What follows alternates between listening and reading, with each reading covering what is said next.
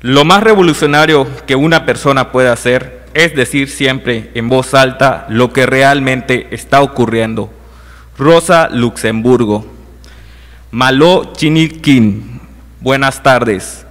Con el permiso de la mesa directiva, diputados, diputadas, congresistas juveniles, público que nos acompaña, mi nombre es Edie Israel Canul Rodríguez, representando al emblemático municipio de José María Morelos.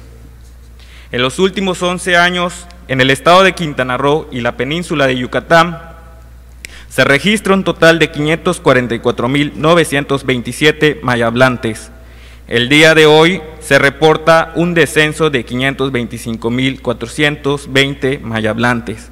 Como resultado, podemos determinar una disminución acelerada de mayablantes en nuestro estado, de conformidad,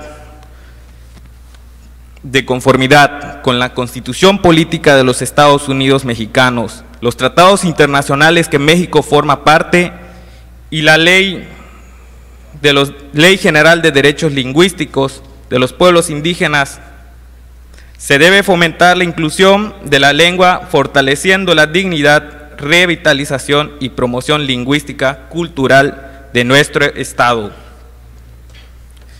¿Cómo es posible que no se pueda atender a una mujer en una dependencia de gobierno porque no puede hablar español? ¿Cómo podemos hablar de promoción, igualdad de oportunidades y la eliminación de cualquier práctica de discriminación si nuestras autoridades en su mayoría no hablan lengua maya, no la escriben y mucho menos la entienden. Por mucho tiempo el Estado de Quintana Roo se ha constituido sin ser progresista para abatir rezagos y carencias que afectan a los pueblos y comunidades. ¿Cómo lo es esta propuesta? Para tener acceso a la educación, acceso a la justicia con enfoque de derechos humanos perspectiva de género, infancia y adolescencia. Para eliminar la discriminación interseccional, siendo esta una carga de discriminación única que enfrenta nuestra comunidad. La discriminación interseccional se hace presente cuando las autoridades priorizan primero la atención a quienes hablan español y por último, a quien se comunica en lengua maya, siempre y cuando si son asesorados por un intérprete y si es que lo hay. Por lo expuesto y fundado, someto a consideración el siguiente proyecto de iniciativa por el que se adiciona la Constitución Política del Estado Libre y Soberano de Quintana Roo. En el artículo 13, apartado B, se adicione subsecuentemente la fracción décima para quedar como dice. Tienen la obligación de ser mayablantes las autoridades municipales, estatales, los o en su caso deberán aprender la lengua maya durante el periodo del ejercicio de sus funciones.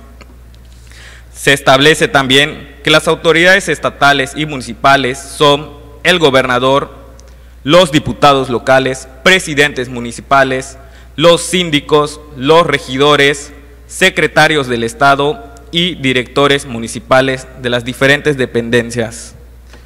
Por último, de manera particular, exijo que hagamos una política buena, donde todos nos involucremos. El trabajo arduo por hacer el bien es la persistencia de cada día. A las instituciones y a las autoridades colaborando con el progreso de nuestra identidad presente y futura. Para que no exista la desigualdad, de esto se hablará y se enorgullecerá a todo el Estado, siendo el ejemplo en el país, que nuestras autoridades estarán obligadas y comprometidas a promover y dignificar la lengua maya. Esta propuesta es una oportunidad histórica para Quintana Roo. Es cuanto.